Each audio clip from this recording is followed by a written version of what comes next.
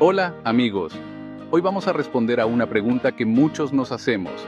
¿Naranja o mandarina? ¿Cuál es la mejor opción para nuestra salud? Ambas son frutas deliciosas y con muchos beneficios, pero también tienen sus pequeñas diferencias. Vamos a explorarlas. Empecemos con la naranja. Es una bomba de vitamina C.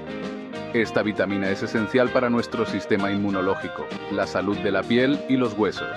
Además, la naranja tiene fibra, que nos ayuda a tener una buena digestión.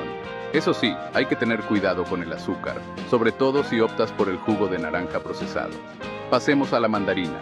También es una buena fuente de vitamina C y fibra, pero con una ventaja. Tiene menos calorías que la naranja. Esto la hace ideal si estás cuidando tu peso. Además, es súper fácil de pelar, perfecta para un tentempié rápido. Eso sí, tiene un poquito menos de vitamina C que la naranja. Entonces, ¿cuál elegir? La verdad es que depende de lo que busques. Si quieres una dosis extra de vitamina C y fibra, la naranja es tu mejor amiga.